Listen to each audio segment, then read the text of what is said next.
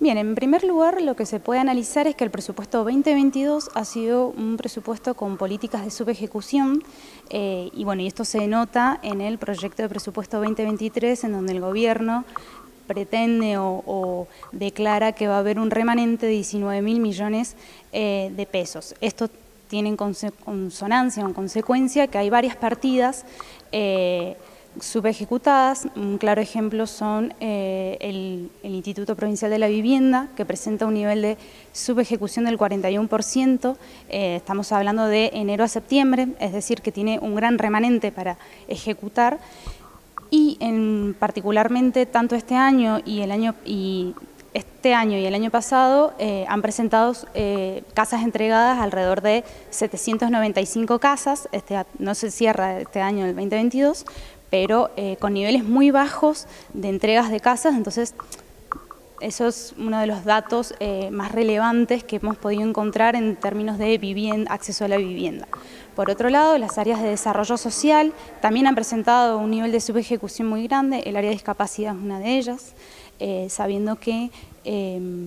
tanto en sus declaraciones en el proyecto de presupuesto que eh, elevan que eh, acceden beneficiarios de mil personas, alrededor de mil personas que padecen alguna discapacidad, sin embargo, eh, si tenemos en cuenta el universo de personas con discapacidad en la provincia de Mendoza son alrededor de 128 mil, es decir que es un programa, una política presupuestaria que abarca el menos del 1%. Entonces creo que lo que le pasa al gobierno de la provincia, que hace un presupuesto a lo mejor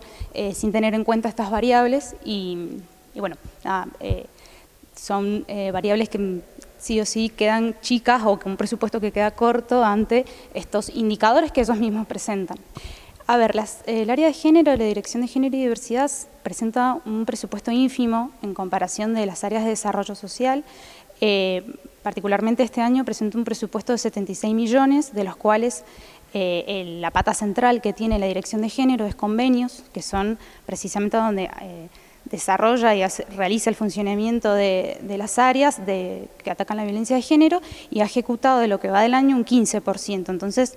acá vemos una pata floja cuando analizamos el presupuesto descomponemos el presupuesto y vemos cuáles son las áreas que realmente han ejecutado y cuáles no. Las realmente ejecutadas son el área de personal, pero si desagregamos, eh, por ejemplo, convenios están súper eh, subejecutadas. Para el año que viene se espera un presupuesto de 176 millones, eh, si bien pareciera un presupuesto amplio, pero si tenemos que tener en cuenta que este año,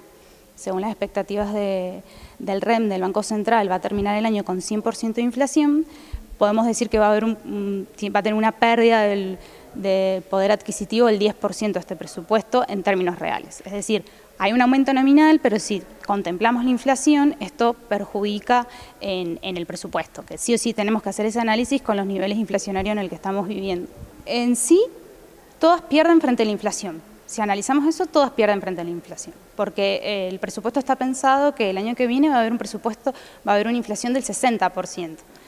tenemos un año que atravesamos del 100% de inflación este año, se calcula, para lo que va del año parece que sí, y el año que viene las expectativas del REN eh, pretenden que va a terminar el año en 90%. Entonces, claramente que todas las partidas van a perder contra la inflación porque se tendría que duplicar, básicamente el presupuesto para que no pierda.